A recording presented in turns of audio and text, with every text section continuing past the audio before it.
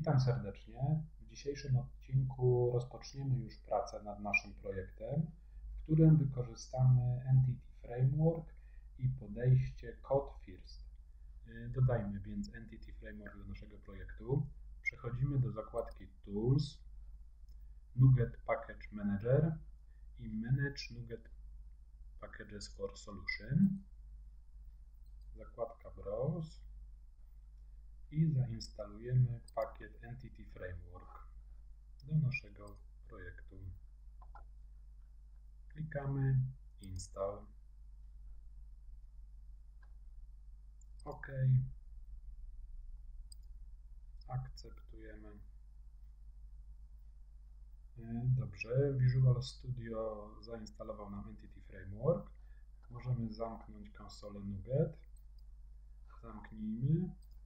Widzimy tutaj, że zostały dodane referencje do Entity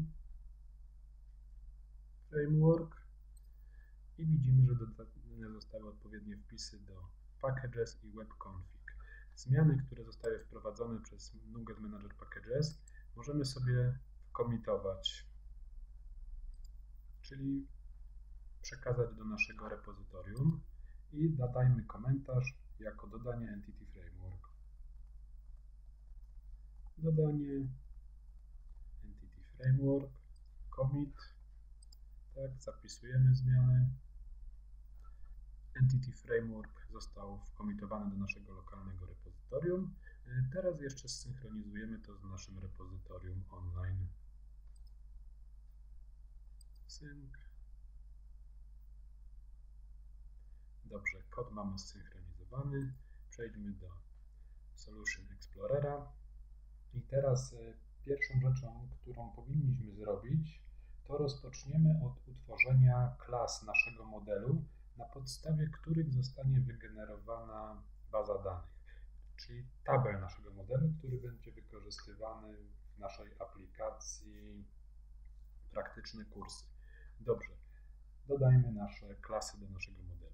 Więc zaznaczamy katalog Models prawym klawiszem i dodajemy Add Class. Pierwszą klasę nazwijmy sobie kurs. Kurs. Dobrze, mamy utworzoną klasę kurs. Teraz będziemy dodawać pola, czyli no, pola do naszej klasy, propercje, które będą reprezentować pola w tabeli. Piszemy prop, dwa razy tab, tak, pierwsze pole będzie typu integer, będzie się nazywało kurs ID, y, gdyż zgodnie z konwencją, jeśli pole nazywa się tak samo jak nazwa klasy i jest dodany, dodane ID, to wtedy będzie to, te pole będzie używane przez Entity Framework jako klucz główny primary key. Dobrze. Dodajmy sobie teraz kolejne pola integer i to będzie kategoria ID. Będzie to klucz obcy do kategorii. Następna właściwość będzie typu string. Będzie to tytuł kursu. Dodajemy następne pole typu string. Autor kursu.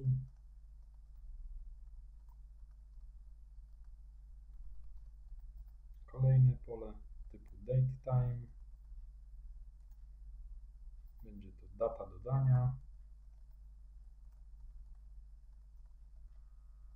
Kolejne pole typu string. Nazwa pliku obrazka.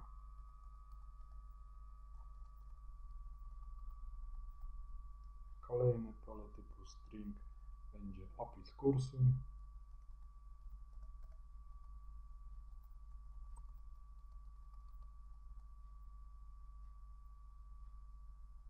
Kolejne pole będzie typu decimal. Będzie to cena kursu. Kolejne pole typu bool. Będzie to bestseller.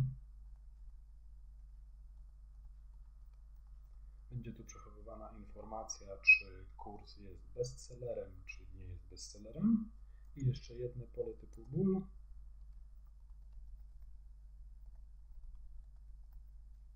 ukryty. będzie tutaj przechowywana informacja, czy kurs jest ukryty, y, czy nie. Że po prostu nie będziemy kasować kursów y, z tabeli, tylko jeżeli kursu już nie będzie, to będziemy po prostu ustawiać flagę, jak, że kurs będzie ukryty, żeby mieć e, informacje odnośnie kursu, który był już na przykład sprzedany, w jakimś zamówieniu się znalazł, to musimy mieć informacje odnośnie tego kursu. Gdybyśmy go usuwali, takiej informacji byśmy nie mieli. A gdy sobie zmienimy tylko flagę na ukryty, y, to wtedy będziemy wiedzieli, że ten kurs już ma być niesprzedawany na przykład. Dobrze. I dodamy sobie jeszcze właściwość nawigacyjną do tabeli kategorie. To będzie public, virtual, kategoria,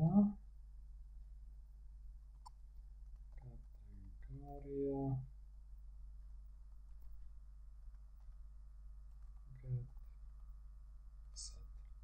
Dobrze, teraz z tego poziomu możemy sobie dodać nową klasę modelu. Kategorię klikamy Ctrl kropka i generuj klasę kategoria w nowym pliku. Dobrze, i wygenerował nam klasę kategoria. Tu już rozpoznawalny jest ten typ. Zapiszmy.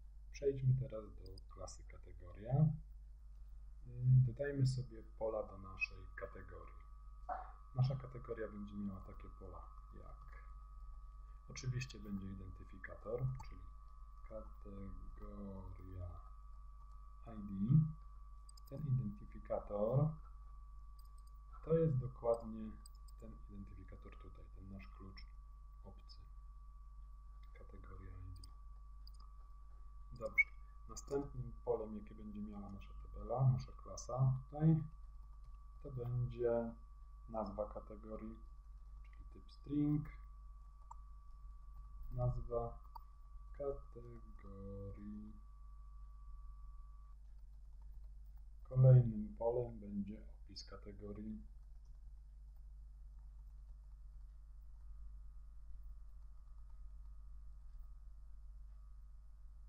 Kolejnym polem będzie nazwa pliku ikony.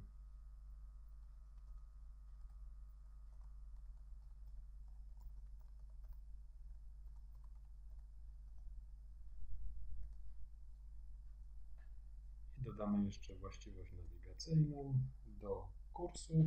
To będzie public, virtual i będzie to no, w kategorii będzie można przypisywać wiele kursów, czyli będzie to i collection, będzie to kolekcja. Musimy dodać odpowiedni przestrzeń nazw.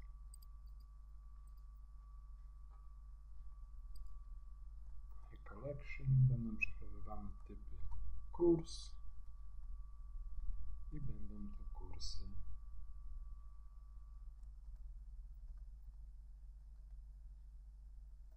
Get set. Dobrze. Zapiszmy. E, teraz dodajmy sobie kolejną klasę. Będzie to klasa zamówienia. Zamówienia, ok. Tradycyjnie pierwszym polem będzie zamówienie ID prop integer zamówienie ID będzie to klasa nie zamówienia, a zamówienie, jedno zamówienie. Klasa reprezentuje zamówienie. Tutaj też zmienimy nazwę na zamówienie.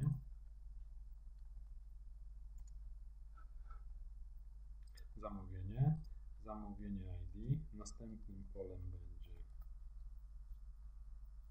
imię. w następnym pole będzie typu string. Imię.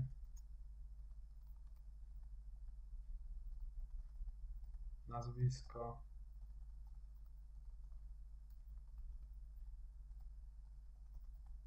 Ulica.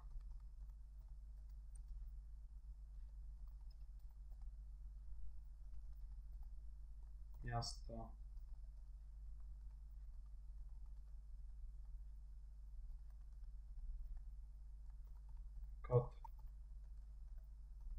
Pocztowy.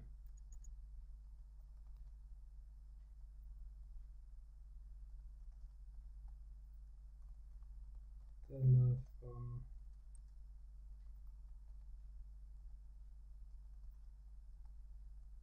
E-mail.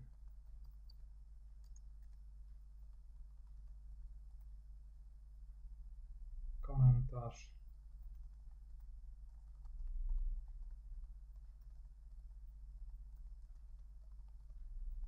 I data dodania.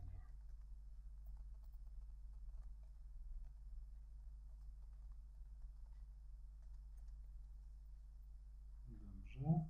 Jeszcze będzie pole typu stan zamówienia. Stan zamówienia typu stan zamówienia. Stan zamówienia to będzie nasz enum, który zaraz sobie stworzymy. I pole będzie jeszcze typu decimal wartość.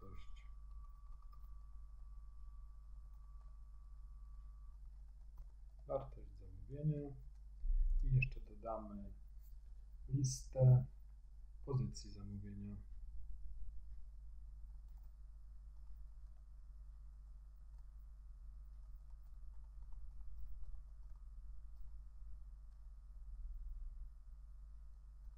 Pozycje zamówienia.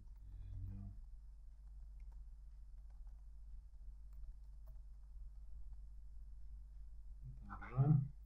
Dodajmy sobie od razu klasę dla zamówienia. Mamy tutaj nasze pozycje zamówienia. Dobrze. Teraz jeszcze stworzymy do naszego typu stan, stan zamówienia enum. Bo stan zamówienia będzie chcemy, żeby reprezentował zamówienie albo nowe, albo zamówienie już zrealizowane. W tym celu dodamy sobie tutaj enuma. Zresztą ten enum będzie się dotyczył tylko tej klasy, nie będziemy go tworzyć w żadnym innym folderze. Zdefiniujemy sobie go tu. Public enum stan zamówienia. I to będzie nowe zrealizowane. Dobrze, i tutaj już mamy nasz zapisać. I zostało nam jeszcze do zaimplementowania klasa pozycje zamówienia. Przejdźmy do klasy pozycje zamówienia. Zrobimy tę klasę publiczną. Będzie miała tradycyjnie pole pozycja zamówienia ID.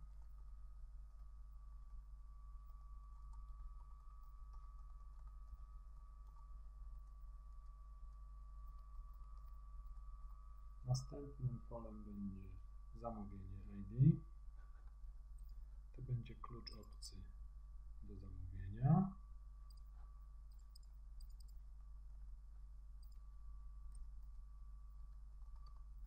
Kolejnym polem będzie kurs ID.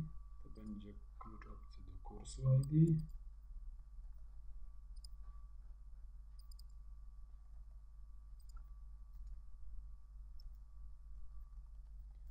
Następnym polem będzie ilość.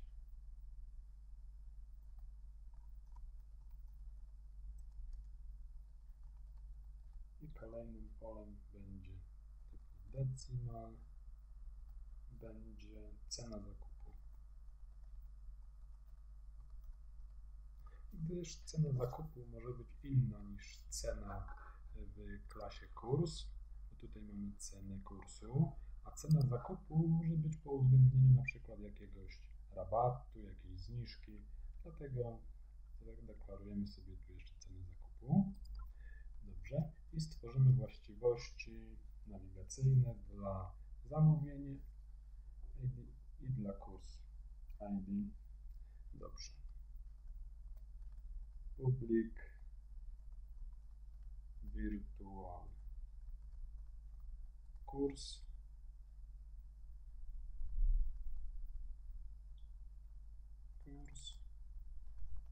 Get. Set. Public. Virtual. Zamówienie.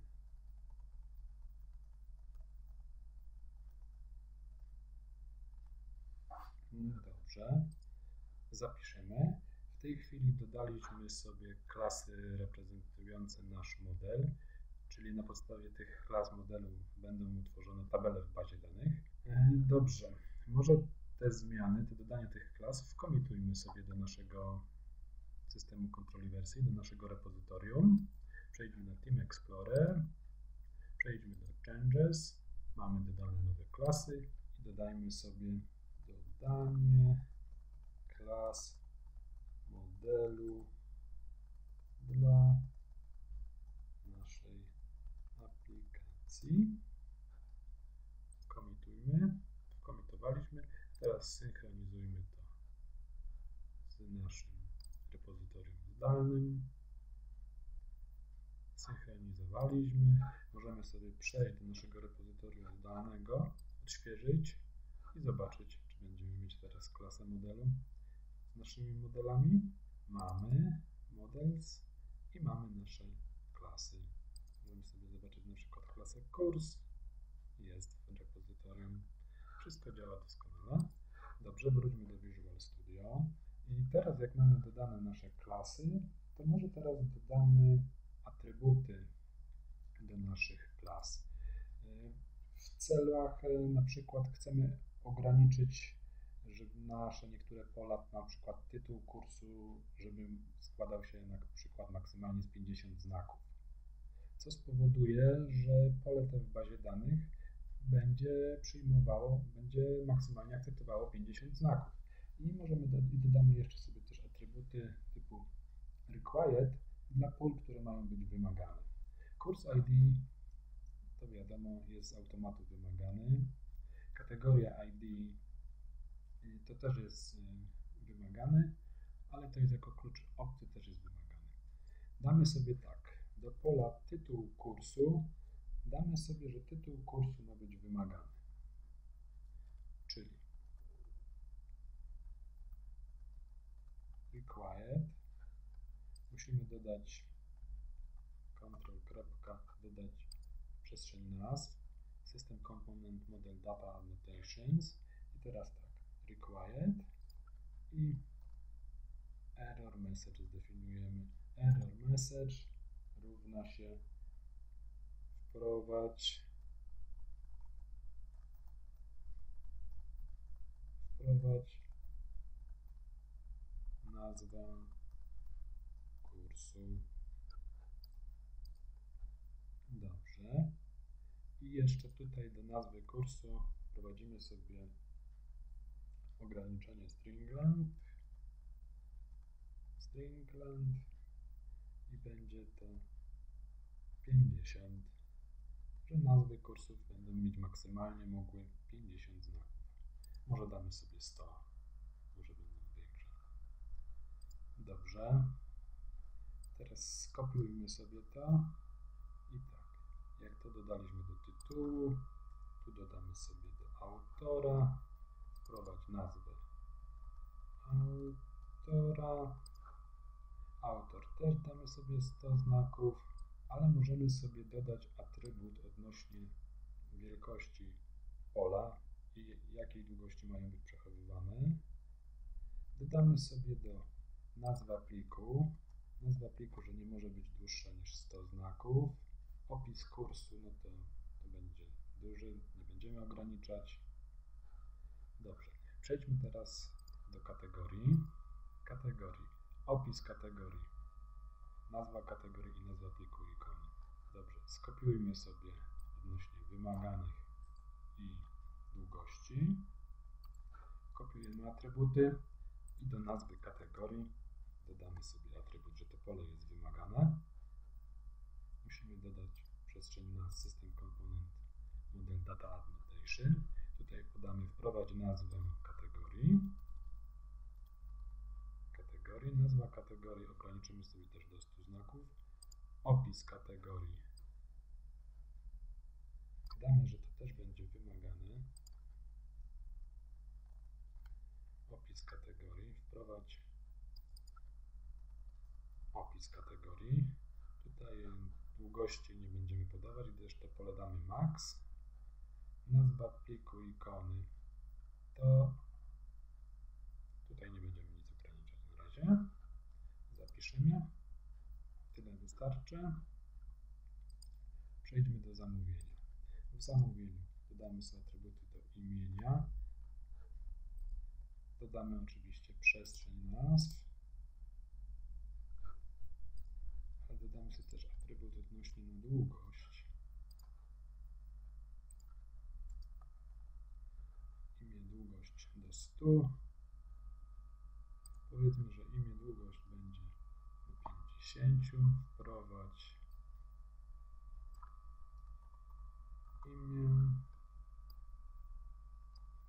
Ctrl C. Dodamy sobie do nazwiska. Powiedzmy, że wprowadź nazwisko. Dodamy sobie oczywiście do ulicy, do miasta, do kodu pocztowego, bo te wartości będą, użytkownik będzie powinien, powinien je wprowadzić, żeby można dostarczyć wysłać, e, zrealizować zamówienie. Także wpiszmy tutaj wprowadź imię, wprowadź nazwisko. Tutaj będzie wprowadź ulicę, ulicę, miasto, kod pocztowy. Dobrze. Telefon, e-mail, komentarz niewymagany. Data, zamówienia, data dodania, stan zamówienia to my sobie będziemy sami ustalać. Wartość zamówienia też. Czyli tyle wystarczy. Wprowadźmy, że ulica może być dłuższa. 100 znaków. Miasto też 100 znaków. A kod pocztowy to będzie długości 6 znaków.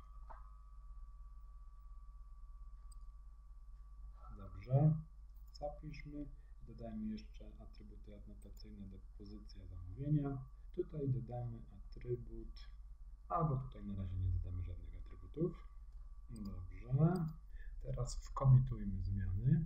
Zaznaczmy naszą aplikację, naszą solucję i kliknijmy commit. Oddajmy wprowadzone zmiany do repozytorium. Dodanie atrybutów do klas naszego modelu. Kliknijmy sobie commit i synchronizujmy z repozytorium zdalnym. Sync jest oddany do repozytorium lokalnego i zdalnego. Przejdźmy do naszej solucji. Dobrze, mamy nasze klasy naszego modelu. To teraz przydałoby się utworzyć kontekst danych, który będzie reprezentował naszą bazę i tabelę w naszej bazie danych. Dlatego do tego celu stworzymy sobie nowy folder. Kliknijmy Add New Folder. Nazwijmy go DAL, Data Access Layer, warstwa dostępu do danych i w tym folderze utworzymy sobie klasę naszego kontekstu. Klikamy prawym Add New Class. Nazwijmy sobie tę klasę kursy kontekst kursy kontekst. Klikamy OK. Nasza klasa będzie oczywiście dziedziczyć pod DB kontekst.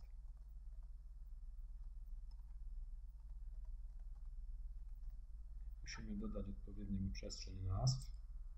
System Data Entity. Dobrze. I w naszej klasie musimy zdefiniować wszystkie, jak w naszej klasie kursy kontekst, czyli naszej reprezentującą naszą bazę danych, musimy zdefiniować wszystkie tabele, czyli musimy dodać nasze klasy naszego modelu. I robimy to tak. Public dbset dbset, to znaczy, że to będzie tabela dbset kurs dbset kurs kursy stop. Dbset kurs będzie kursy get. Set. Dobrze. I musimy dodać przestrzeń dla kursu do naszego modelu. Dobrze. I to będzie pierwsza tabelka dla naszych kursów teraz musimy dodać następną. To będzie public db set. Kategoria. Tutaj będzie tabela kategorie.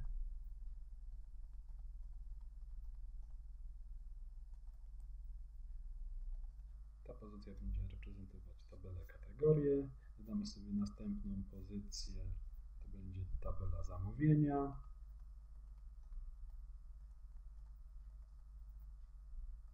typu zamówienia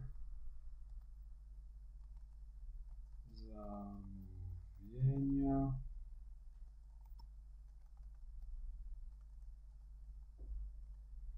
I jeszcze jedną tabelę. Pozycję zamówienia.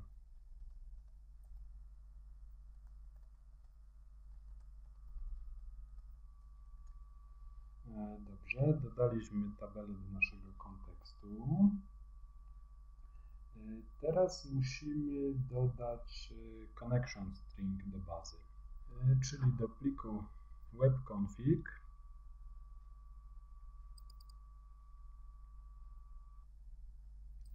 Powiedzmy tutaj pod sekcją App Settings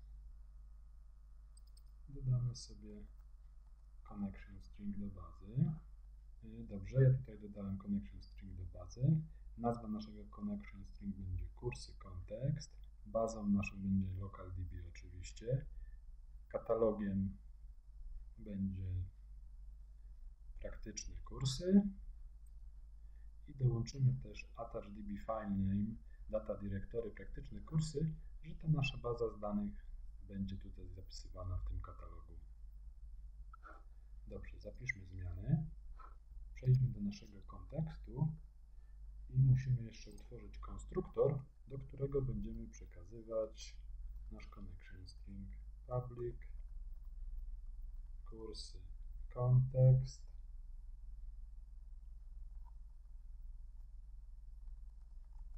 Tutaj wywołanie bazowego konstruktora. I tutaj przekażemy nie cały connection string, można cały, ale po co? Przekażemy nazwę naszego connection stringu. Skoro zdefiniowaliśmy connection string w pliku webconfig, to tutaj przekazujemy tylko jego nazwę.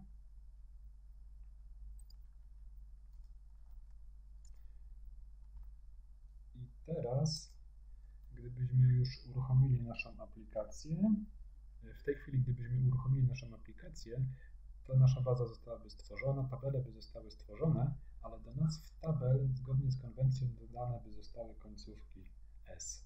Że nasza tabela by, by się nazywała courses, categories, polecenias, y, czyli tak y, nieładnie. Może zmienimy tę konwencję. Dobrze, dodajmy tutaj jeszcze using. I tutaj dodaliśmy metodę onModelCreating, czyli w momencie, kiedy będzie utworzona baza, chcemy zmienić konwencję, żeby nie były tabele, nazwy mnogie stworzone z naszych tabel, żeby nie było dodawane TS. Dobrze. Bo ta konwencja automatycznie tworzy liczbę mnogą dla nazw tabel w bazie danych. Zamiast kategorii zostałaby stworzona tabela o nazwie tego nie chcemy, także wyłączamy tę konwencję. Zapisujemy. Dobrze. Teraz yy, komitujmy nasze zmiany. Commit. Dodanie. Kursy. Kontekst. Commit. synchronizacja z, z online repozytorium, synchronizowane. Dobrze. I teraz już możemy uruchomić naszą aplikację i baza danych zostanie utworzona. Ale jeszcze zanim uruchomimy, zróbmy sobie taki mały test w kontrolerze. Przejdźmy do kontrolera. Dodajmy sobie jeszcze tutaj widok, add view, zwykły widok.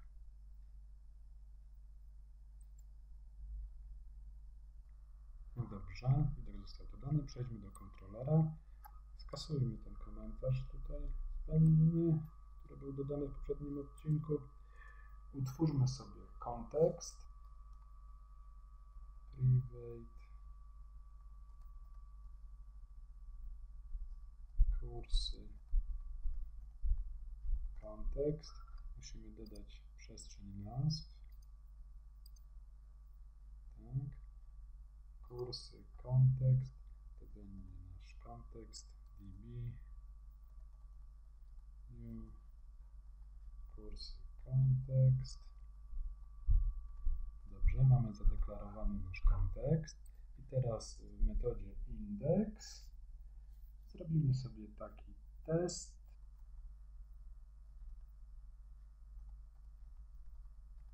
Kategoria. Musimy dodać przestrzeń nazw dla kategorii. Zadeklarujmy sobie kategorię. Kategorie równa się new kategoria. Tutaj sobie stworzymy nową kategorię, a więc nazwa kategorii będzie ASP.NET MVC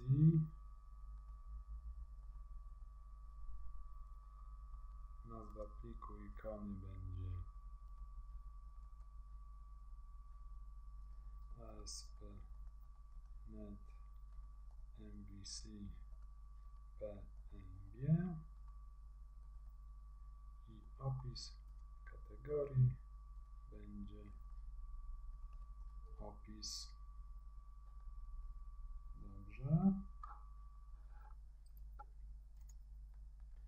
I teraz dodajmy sobie naszą kategorię do bazy.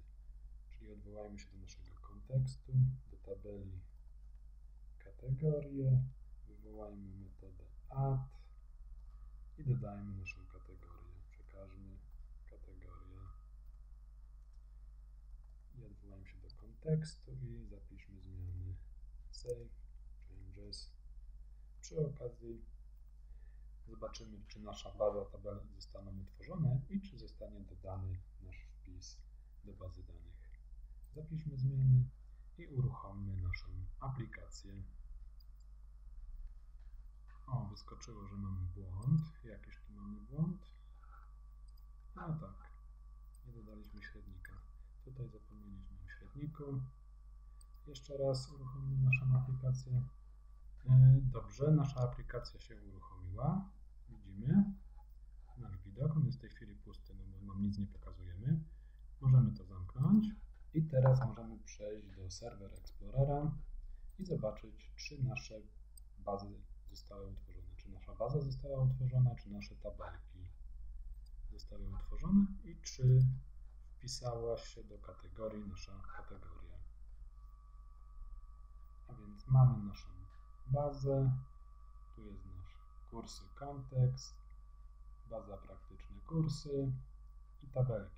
I jak zobaczymy sobie tabelkę kategorie, show table data, możemy zobaczyć, że nasz wpis się dodał. Właściwie dodał się dwa razy, gdyż wyszło, że ja dwa razy dodałem. No i tak było. Dobrze. Zamknijmy połączenie z bazą. Zamknijmy naszą tabelkę. Y, możemy też y, przeglądać y, naszą bazę za pomocą takiego SQL Server Object. I tutaj mamy nasze LocalDB i tutaj mamy bazy, mnóstwo baz, a nasza baza jest tutaj praktyczne kursy. I tutaj są nasze tabelki. Też sobie możemy kliknąć prawym, View Data. Są nasze dane. Możemy to zamknąć. Ten SQL Server Object Explorer jest bardziej zaawansowanym narzędziem. Tu można więcej różnych rzeczy zrobić. Możemy sobie na przykład, jak klikniemy prawym, możemy sobie porównać schematy bazy danych, możemy sobie jakieś zapytanie wykonać, możemy usunąć bazę. No, tu jest mnóstwo różnych rzeczy, które można robić. Na przykład możemy sobie zrobić nowe query. Kliknijmy New Query i możemy sobie tutaj pisać zwykłego selecta. Na przykład select gwiazdka from Gloria i możemy odpalić i widzimy nasze kategorie. Dobrze, to. E, z tego SQL Server Object Explorer będziemy jeszcze korzystać w naszym kursie, także będziemy o nim rozmawiać. E, żeby SQL Server Object Explorer był dostępny w Visual Studio, e, trzeba by doinstalować takie rozszerzenie, które się nazywa SQL Server Data Tools. Ściągnąć to ze strony Microsoftu i doinstalować SQL Server Data Tools. On daje funkcjonalność takie jak osobne narzędzie do zarządzania bazą danych, bazą danych SQL Management Studio. Wtedy taką funkcjonalność mamy zintegrowaną właśnie w Visual Studio. Niepotrzebne są nam żadne dodatkowe narzędzia do zarządzania bazą danych. Bo w Server Explorerze tutaj możemy mniej rzeczy, nie możemy niektórych rzeczy robić. Tutaj możemy praktycznie tylko przeglądać y, bazę w SQL Server Object Explorer. Mamy dużo większą funkcjonalność, dużo więcej rzeczy możemy zrobić, ale to nie jest temat na ten odcinek. Y, jeśli chcemy tego mieć serwer SQL Server Object Explorera, y, tak jak mówiłem, trzeba ściągnąć ze strony Microsoftu i zainstalować dodatek SQL Server Data Tools. Dobrze, tym się teraz nie będziemy zajmować. Y, teraz, jak żeśmy wykonali sobie tego testa, to wkomitujmy nasze zmiany do naszego repozytorium. Commit Napiszmy sobie pierwszy test bazy danych i commit. Zostało wkomitowane. Synchronizujmy z repozytorium online. Synchronizowane. Jak przejdziemy do naszego repozytorium online, odświeżymy to widzimy, że kod do repozytorium online został dodany. Mamy folder dal, data access layer. Mamy utworzone klasy, naszą klasę kursy context, gdzie przekazujemy connection string, gdzie tworzymy tabelki. I mamy tutaj tę metodę onModel creating, w której żeśmy wyłączyli konwencję, która automatycznie tworzy liczbę mnogą dla nas w tabel. A myśmy byśmy nie chcieli, żeby mieć zamiast kategorię kategorii jest dobrze, to możemy sobie zamknąć.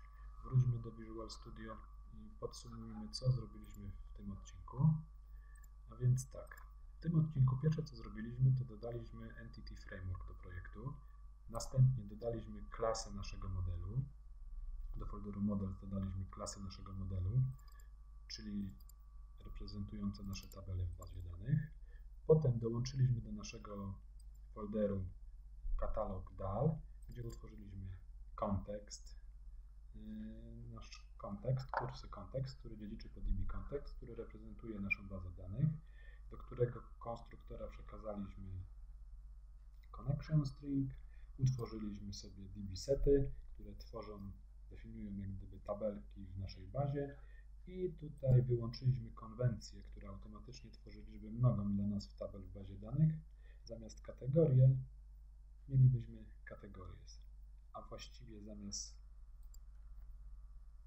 kategoria mielibyśmy kategorię, bo teraz w bazie mamy kategoria, kurs, pozycję zamówienia, zamówienie, a tak byłyby takie esy dodane.